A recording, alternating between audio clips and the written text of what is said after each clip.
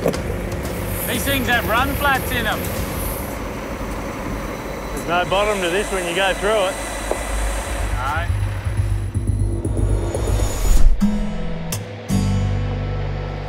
We roll into the station early morning. From here, it's an 80k cross country run due north to the coast. Let's get this shell on the road. First port of call, mate, we've got to find this uh, water post, which is about 25 clicks ahead of us. The GPS mark on it from uh, Bill. A chat to old mate back there, and um, he reckons uh, gives a couple of quick uh, directions with a mud map. So this this fence line here, according to the map, is exactly on the Queensland Northern Territory border. And um, from our little uh, instructions or mud map from uh, old mate back at the station, Murray, he reckons um, five or six k's we're going to travel along this section here to find what is one of the existing border posts. Bit of a washout just here. Oh, we go, washout. A little creek that's on it. No, it's not too bad.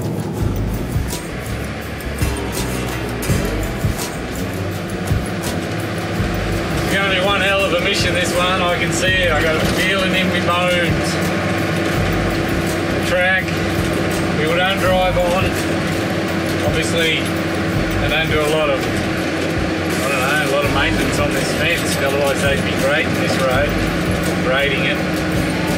Anyway, we're soon going to find out whether or not this is a do or die mission. Something coming up up here, buddy? Like a series of gates or something. Yeah, right on my mark too.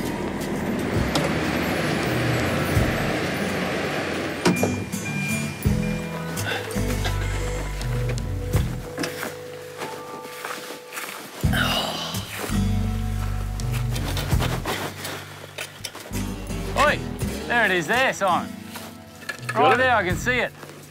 That lone timber post. Just as well, because that gate's tight. I'm gonna leave that shut. I'll come be able to down. Shut it again. Look at that, survived bushfires and everything. Got black marks on it. Termites haven't eaten it No, yet. ants are living in it, or have lived in it. Yeah, it'll be that termite good timber. Oh, mate.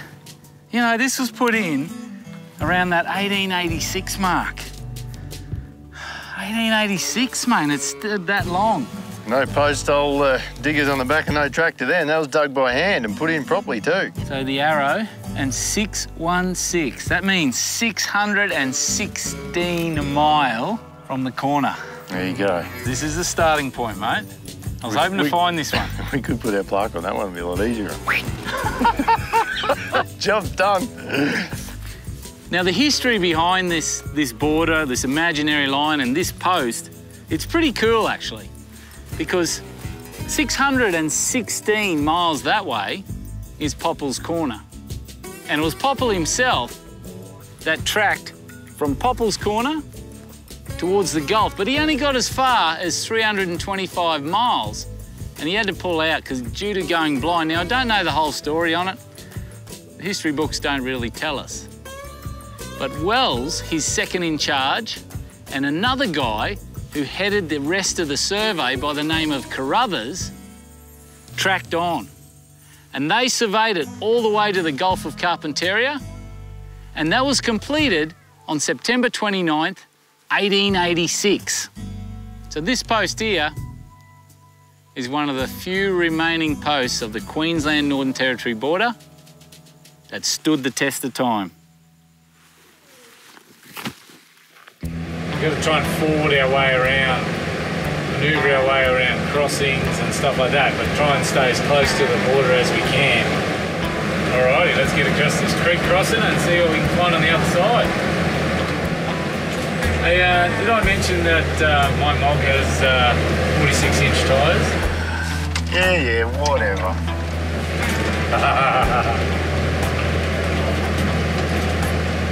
So far so good, mate. We're knocking the kilometres down. Shouldn't be long and we'll be within 30 kilometres of the coast. stays like this, I'll be happy. According to my map, buddy, you should have a creek coming up soon. And lo and behold, there it is. And there's no water in it. Yeah, I'm going to struggle big time getting up there.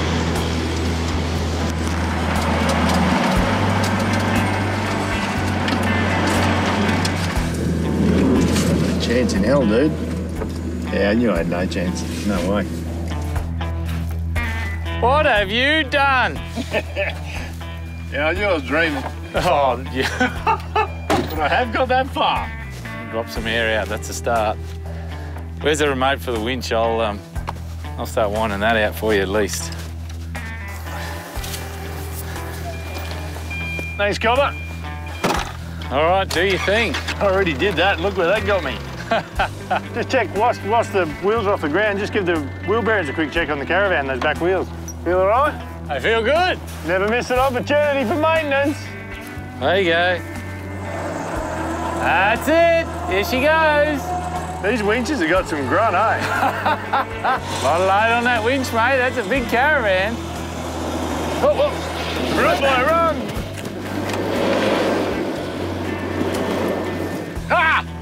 Know four-wheel drives. All right, I'm gonna go. So four-wheel drive, then full diff lock, first gear. Basically, that's about it. That's all you do with Unimogs, and away we go. Come on, baby. Up we go. Go, baby. Yep. Move out of my way. Would you like me do that for you? I could go back and reverse it up there. Hey, did I tell you I got 46 inch tyres and a portal axle you can pitch a 10 under? That didn't even like hesitate, did it? I'm pretty sure I didn't even mention that earlier. Haven't even let the tyres down yet. Oh yeah, they're down to 40. 40. Yeah. Every now and again I might drop them down to 18 if the going Blah, gets blah. All I hear if the going gets really, Blah, really tough. Blah, blah. At the moment, it's not even tough. G'day guys, this video is brought to you by CampBoss 4x4's Boss Air tyre deflators, mate. This is Australia's number one tyre deflator, without a doubt. It's so easy. I can't believe how easy it is. You grab them out, you make the setting on here to which whatever pressure you want to drop your tyre to, lock her in, whack her on here,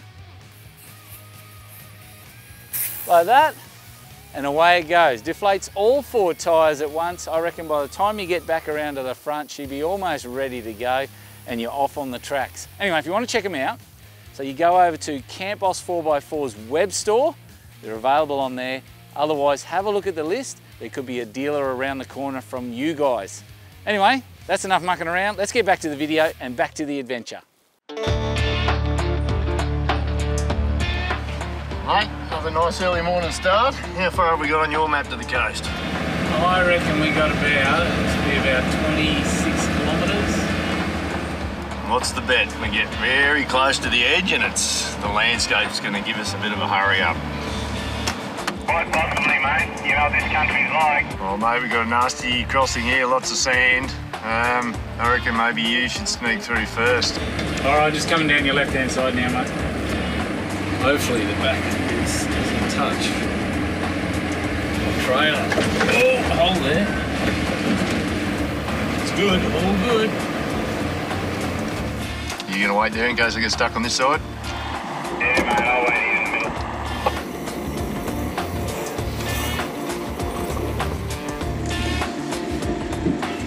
Come on, matey.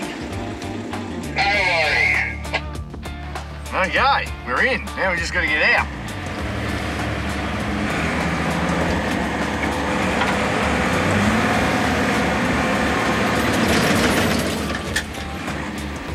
You might have to let a bit of air out of those big 46 inch tyres of yours. Uh, yes. I'll just get, I'll get it into third gear and get a little bit of momentum. Come on, baby!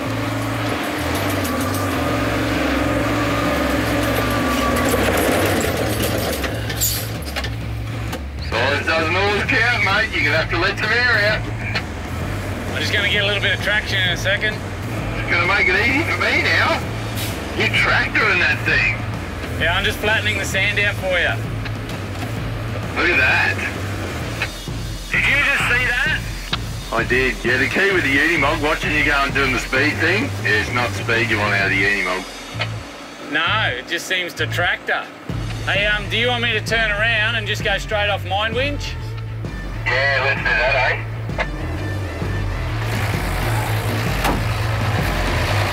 So rather than Simon scratching and carrying on through there, he can come as far as he can where he stops.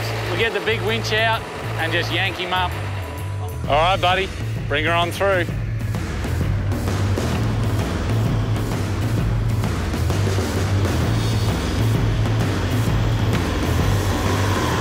You know, you can do it, you're 46 inch tires!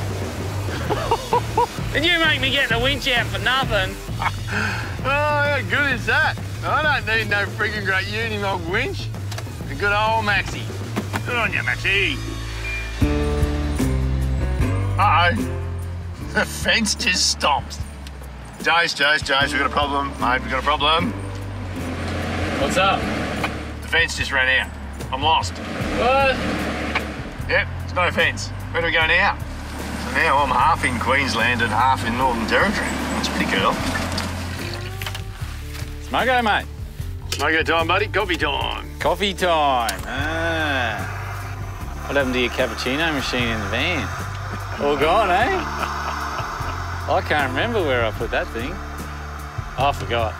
I'm gonna go. I found some bush tucker over here, mate. I'm gonna go and get some. you're gonna have your bush tucker. I'm gonna have, I'm gonna have my bush tucker. All right, okay. You don't want any me bu- bush bubble gum? Yeah, no, I'm good. This is what I'm looking for. This one's absolutely chockers with what I'm going to call bush bubble gum. That's not what they call it, but I reckon it's bush bubble gum. Now this here is obviously the sap coming out of the tree. Now a lot of the time the sap will come out because a grub or a borer will get in there and then where it makes a hole, the sap dribbles out. So if I were to live in the bush here, I could actually put marks or cuts in the tree, in the, the trunk of the tree, and I could actually get it to weep out and come and collect it on a regular basis. It's quite pliable, look at that. It's like bubblegum.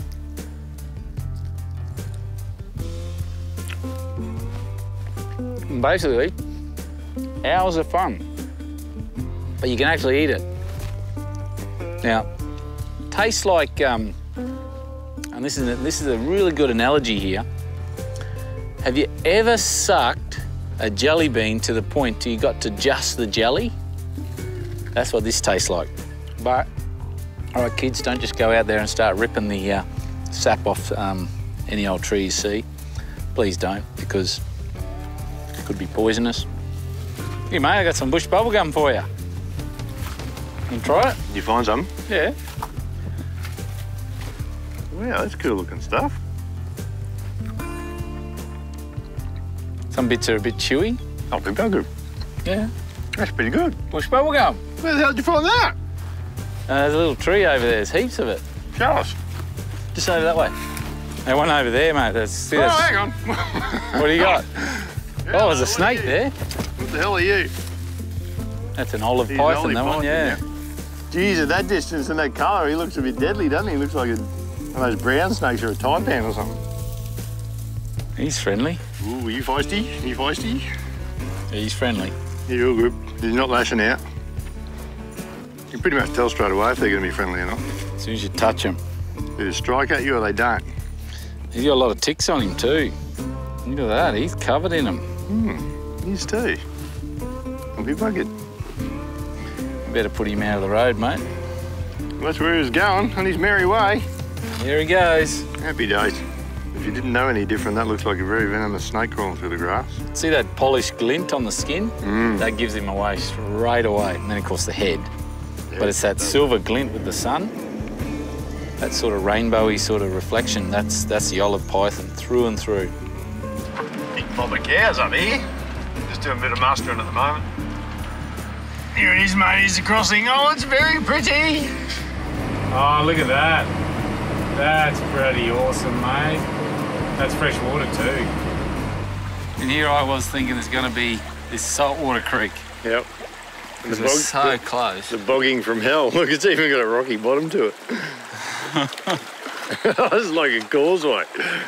It is. It's a natural causeway. I don't know about you, mate, but I'm going in. I need a tub.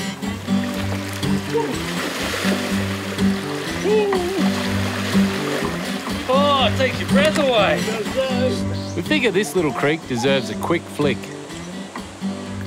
Got him. Got a little sooty.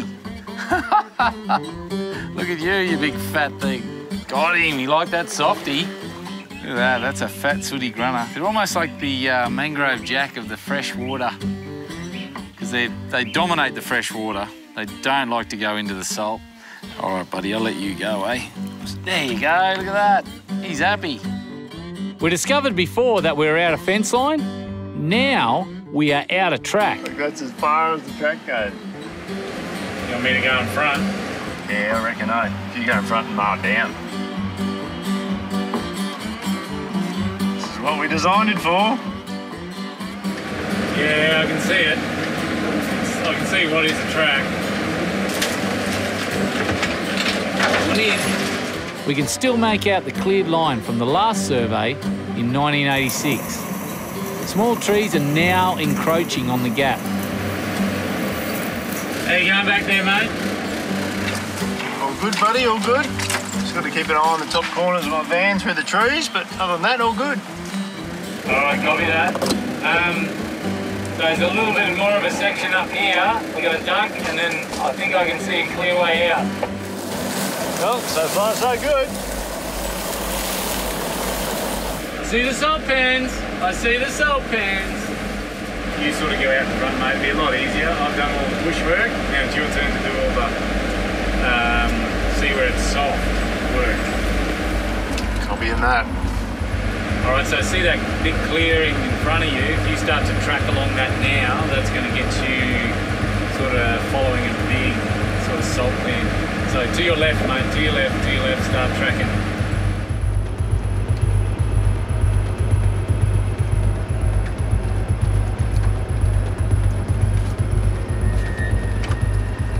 So far, this is great going.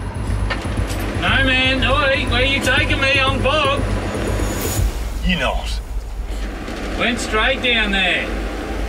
So again, mudflats are not a good place to be. And more problems mount.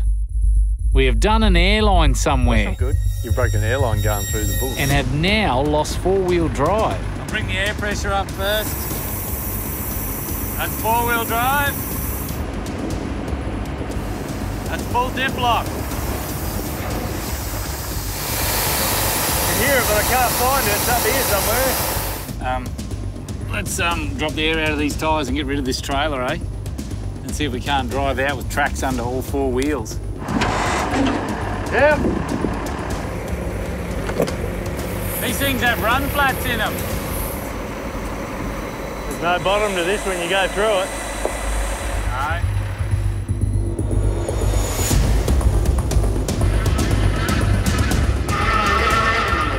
I'm really concerned if we get this thing really bogged, that we'll never get it out, and this is where it'll live. Oh, mate, I'm just going to have to build up air pressure. I'm to load up the winch and then I'm to drive off that a little bit, all right? Copy that. Oh, he's popped out of the hole. I'm just going to hold it there for a second and have a look at these tracks. Oh, I can see it from here. You're good. Let me disconnect the winch, and then you can like zoom straight out. Hang on.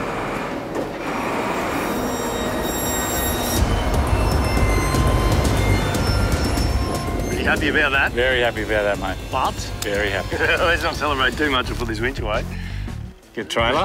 Yeah, I know there's a trailer there, but there's not a 12-ton Unimog No, it's stuck in looking like it's going to get bogged in the past. Like, you know how that stuff works.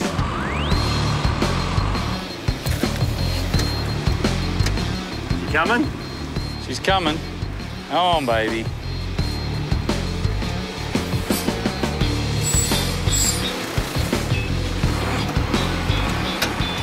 That'll do, I reckon. Just lift her up with a high lift jack and happy days. Whoa. Oh, I've learned my lesson. Don't follow me across the salt flats. Don't follow Simon. Yeah, I'm just going to go over to where the trees are. So, Simon tracked straight across to set up camp. The Mog, on the other hand, needs to stay on hard ground. I end up rolling into camp about an hour later. I'm glad we got it out. Got the tracks under, the winch, the whole thing, and just it just sort of came out, disconnect the trailer. Thank God for that. I'm beat. I've had enough.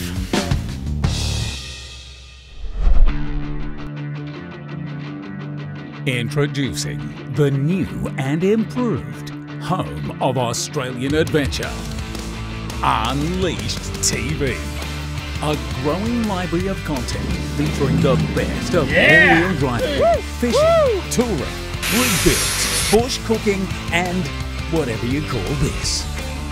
Stream entire seasons of the hit TV show All 4 Adventure, Unleashed, and more original series from Jason the team. Plus, get fresh new content exclusive to Unleashed TV subscribers. You can stream it all for just $9.99 per month. Now with no lock-in contract. That's why Unleashed TV is the home of Australian adventure.